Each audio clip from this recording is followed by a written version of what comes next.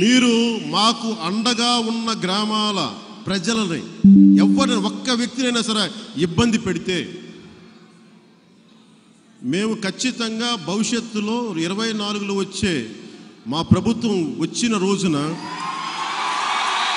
మీరు మా వాళ్ళ ఇళ్ళు ఏ కారణం పెట్టి కూల్ చేశారో లీగల్ ప్రాబ్లం మీరు చెప్పారు కదా లీగల్గానే చూపించారు కదా.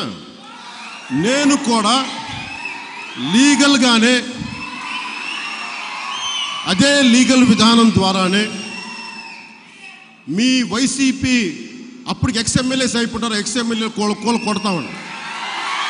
కోల కొట్టిస్తాం. మీరేంటి తెగించి వచ్చారా మీరు? మీరు ఒక్కళ్ళైనా రాజకీయం చేయగలిగేది.